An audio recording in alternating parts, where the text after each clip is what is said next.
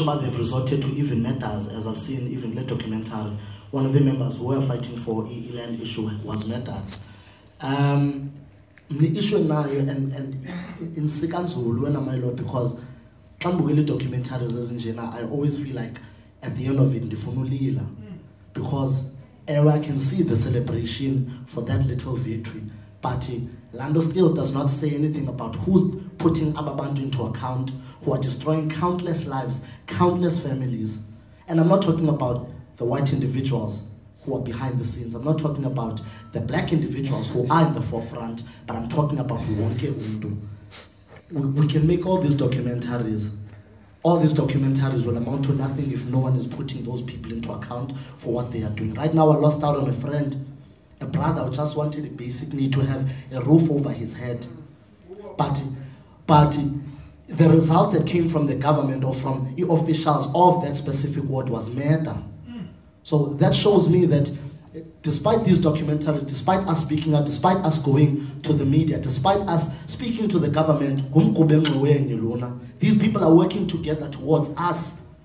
They are fighting against us, the people. We are putting these people in power for them to come and destroy us. So my biggest question is, ngobani abababeka into account for izenzo zabo? For all of the matters for all of all of the all of the outcries of family for abantwana abasafarishileyo because if we have to take this on an on an individual scale it's it's massive my king so my question is apart from this documentary because I've seen a couple khona yasemarikane bendibukele into ebabuhlungu kuyo yonke laa is that the people involved who are destroying or the villains are not being exposed and they need to start being exposed because without that exposure, people who feel that they are comfortable at their own homes will not realize the bigger picture or the bigger issue. Is that we have white individuals in the background working with black individuals in the front to destroy the masses. And that's destroying them in, in many ways. Because if I have to look at it, we are being destroyed spiritually, we're being destroyed mentally, we're being destroyed, we're being destroyed in all aspects. But who is putting them into account for all of these actions? My question is, if no one is there standing up for us, just as you watch almost like that, if, if, if, if we want something to change, we need to change it ourselves. If that means witchcraft, of destroying, because are quite clearly our enemies. We can, we can say that they are oppressors, we can say that they are colonialists, they are enemies. Just like you, my Lord, I, I do not hear the documentary saying that you guys armed yourselves. You guys went after the people who were coming after you. And for this, the same has happened to us. People were, were hunting us down and are, and are still hunting us down as we speak. Because we what? Because we came up and we spoke. We wanted a place to stay, my Lord. Even some of the members here know exactly what I'm talking about. The, people here, they are they were in conspiracy with the members of the people who have who are trying to destroy the bigger picture.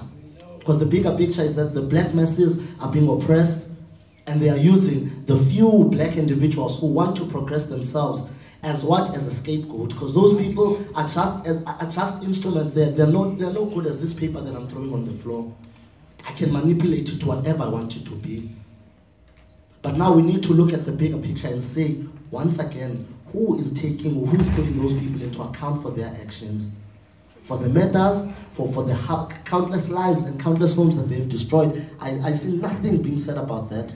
That still shows me that the end of this documentary means nothing once again because it means that the same people who are watching this documentary are going to say, oh no, and then they're going to be up in Long Street a little later on in the day having drinks. So we need to be realistic about this because day and night, my Lord, you're in that rural area. You're fearing for your life. So we need to we need people who say that they are with us to really be with us, my King, in thick and in thin. Thank you. I'll, I'll